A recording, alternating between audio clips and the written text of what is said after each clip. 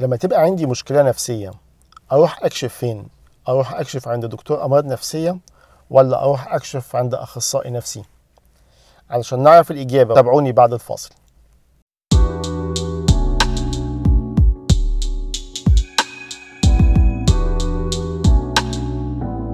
مساء الخير قبل ما أنا أجاوب على السؤال ده آه عايز أأكد على نقطة مهمة جدا وهي إنك لازم تتكلم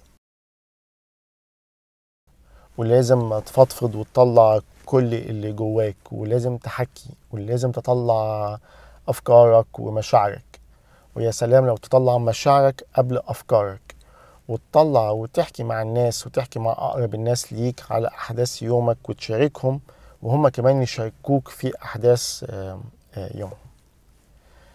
لكن لو أنا عندي مشكلة وحاسس إن المشكلة دي كبيرة شوية أو محتاجين مساعدة طرف ثالث أو طرف خارجي ففي الحالة دي أنا محتاج شخص ذو خلفية معينة وأنا اللي بحدد الخلفية دي. فلو أنا عايز شخص ذو خلفية علمية محترفة يبقى في الحالة دي أنا قدامي شخصين ممكن يساعدوني اللي هو الدكتور الأمراض النفسية والأخصائي النفسي وهنشوف الفرق بينهم آه بعد شوية. لو أنا عايز شخص ذو خلفية آه روحية أو خلفية دينية أو خبرة إيمانية حياتية معينة أو خبرة دينية معينة آه ممكن أروح أسترشد برأيه وأستأنس برأيه وأسمع فكره هو عايز يوصل لي إيه. ويا سلام لو كان الشخص ده دارس مشورة أو دارس علم نفس أو مطلع على مدارس العلاج النفسي. مش هدخل في الدايلما بتاعة الخلفية الثالثة وهي خلفية المعالجين الشعبيين سواء بالسحر أو بالأعمال. فأنت اللي بتختار بصراحة يعني لو حضرتك مختار شخص يعني يساعدك في الرزق مثلا بفرض أو إنه يرد المطلقة ويجلب الحبيب أو يعمل عمل معين أو ينجحك أنت بقى المسؤول عن الاختيار بتاعك ده. بين قوسين. لو حضرتك مصدق إن اللي عندك ده بسبب الأعمال فوفر المجهود وما تجيلناش المستشفى لأن إحنا ما درسناش في كليات الطب إزاي نفك الأعمال. يرجع مرجعنا إلى الفرق ما بين الأخصائي النفسي والطبيب النفسي وأروح أكشف عند أي حد منهم. بص حضرتك آه الإجابة بتاعتي هي تروح تكشف عند أي حد. يطلع دكتور أمراض نفسية أو يطلع أخصائي نفسي الاثنين عندهم خلفية علمية محترمة آه ما دام أنت مختار الخلفية العلمية دي. الإجابة بتاعتي جايز تضايق زمايلي وجايز تضايق ناس كتير جدا في نقابة الأطباء بس ده اللي أنا مصدقه وده اللي أنا مؤمن بيه واللي أنا بمارسه آه بالفعل. هل معنى كده إن مفيش فرق بين الاثنين لا في بعض الفروقات. بس نقول في الأول النقاط المتشابهة بين الاثنين النقاط المتشابهة بين الاثنين وهي إن الاثنين درسوا النفس البشرية.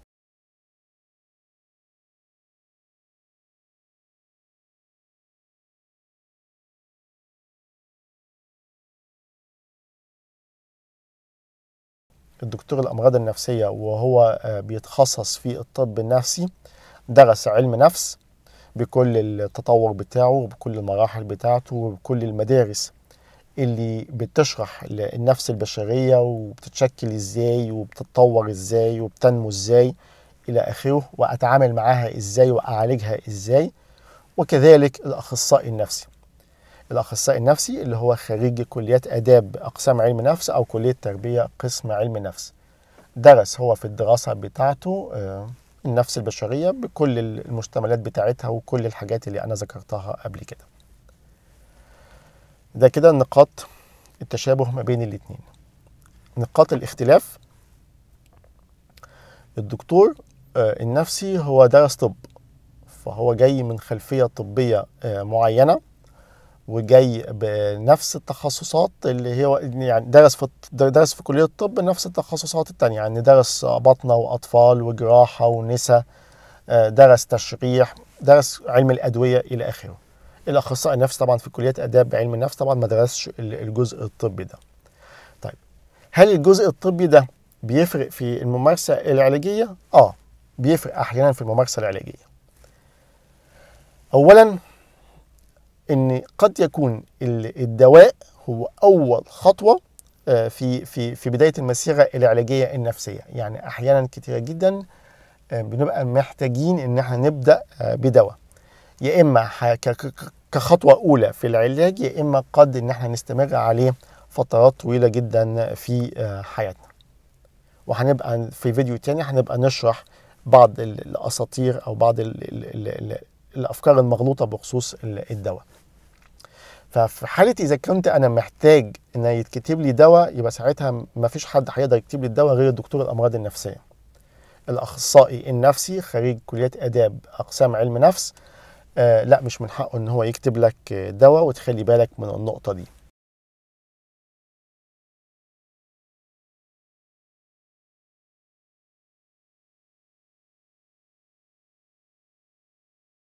ده فيما يخص الدواء.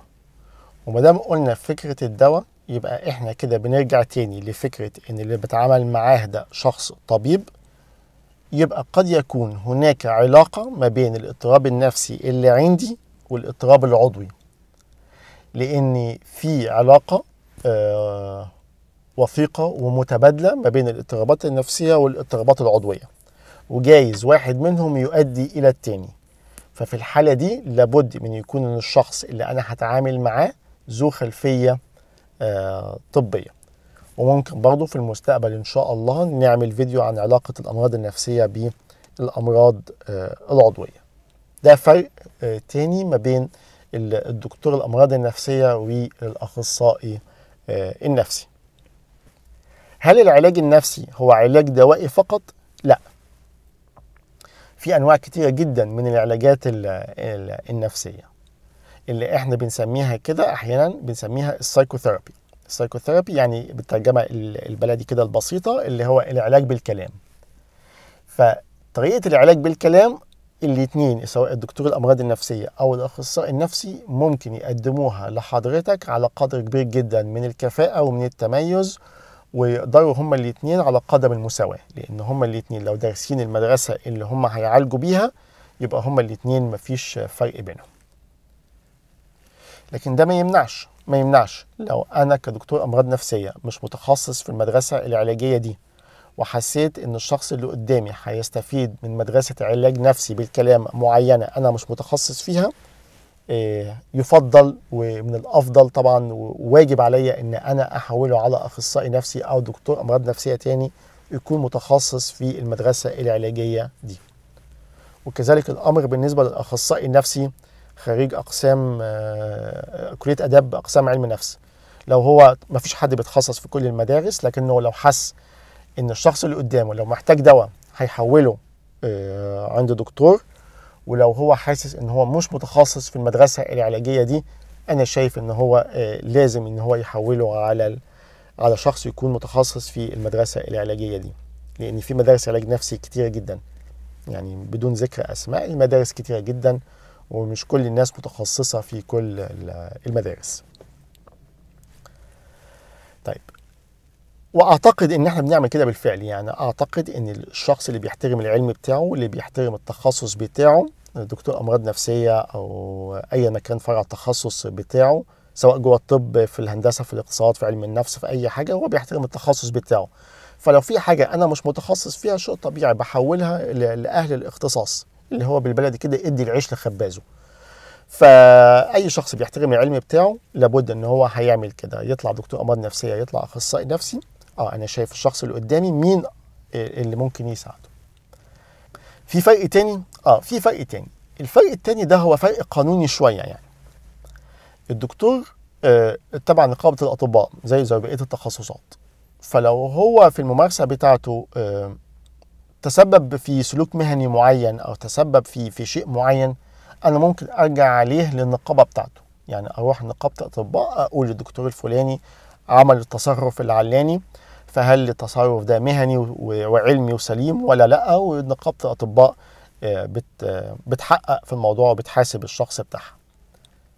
بالنسبة للأخصائي النفسي خريج كليات آداب أقسام علم النفس للأمانة أنا ما أعرفش إذا كان ليهم حد أنا ممكن أرجع له ولا لأ. يعني لو الأخصائي النفسي ده تسبب في سلوك مهني آه، معين أرجع لمين؟ أنا مش عارف. ترخيص مزاولة المهنة بتاعته. بيطلع من فين؟ أنا مش عارف. الدكتور طبعا بيطلع من نقابة الأطباء. لكن الأخصائي النفسي ترخيص مزاولة المهنة بيطلع من فين؟ أنا مش عارف. قد يكون فيه بس أنا مش عارف. يمكن آه، زميلاتي وزمايلي آه، اللي اللي بيشوفوا الفيديو ده ممكن يردوا عليا في التعليقات آه، لو يعني مين اللي ممكن يحاسب ال- الأخصائي ال- النفسي. ف روح عند أي حد؟ وكل شخص هيحترم العلم بتاعه بأكد كده لو هو محتاج دواء هيحولك على دكتور ولو هو محتاج علاج نفسي معين أو موداليتي نوع معين من العلاج مش مش مش كفء فيه هيحولك الدكتور أو الأخصائي ال- النفسي. لكن قبل ما أختم الفيديو عايز أرجع تاني للنقطة اللي أنا اتكلمت فيها في في ال- في البداية وهي إنك لازم تتكلم ولازم تحكي. ولازم تشجع الناس اللي, اللي انت بتحبهم واللي هم بيحبوك ان هم كمان يتكلموا وان هم يحكوا. آه أنا بنصح الناس وبقول لهم كده ان مهم ان تتعمل مجموعات آه علاجية مبسطة جوه كل أسرة. في ميعاد مقدس يتحدد زي ما يتحدد بقى يتحدد آه كل أسبوع يتحدد مش جلسة رسمية يعني على الغداء على العشاء. كل واحد فيها يطلع أحداث اليوم بتاعه ويحكي فيها ويتكلم ويقول يعني أنا حصل معايا إيه. فلما بتجتمع العيلة كده في ميعاد آه الميعاد ده مقدس. ما ينفعش حد يفوت مثلا آه، وجبة الغداء وجبة العشاء مثلا. كلنا بنقعد بنسمع بعض بنحكي مع بعض بنتكلم بنفضفض بنطلع. آه ما يمنعش ما يمنعش إن تبقى في البداية ال- يعني الكلام يبقى فيه نوع من أنواع الفانتازيا. آه طبعا يعني وبتبقى مفهوم إنها فانتازيا. يعني مثلا افهمهم في البيت مثلا إن وزير الصحة آه، وزيرة الصحة مثلا ما بتعملش أي حاجة في الوزارة غير لما بتتصل بيا وتسألني. okay ده مفهوم okay. لكن مرة ورا و ومع إن المجموعة أو الجماعة بتتعمق في في الوحدة بتاعتها وفي الترابط بتاعها بتطلع بقى مشاعر حقيقية وبتطلع كلام حقيقي. بيشوفوني لما أنا برجع متضايق مثلا من الشغل أقول لهم أصل المدير ضايقني اصلي مش عارف حصل الموقف الفلاني فأنا متضايق دلوقتي. أنا ب... لما بتشجع بالكلام مراتي بتبتدي تتشجع معايا بالكلام إحنا الاتنين بنحكي على أحلامنا وطموحاتنا بنحكي على الامنا وسقطاتنا و... و... وكل شيء بنحكي عليه في حياتنا. ده بينعكس على الأولاد إن هم التانيين مش هتبقى عندهم اسرار لأ هم بيحكوا. بابا غلط النهارده وحكى. ماما عملت الموقف الفلاني وزعلت وجت حكت.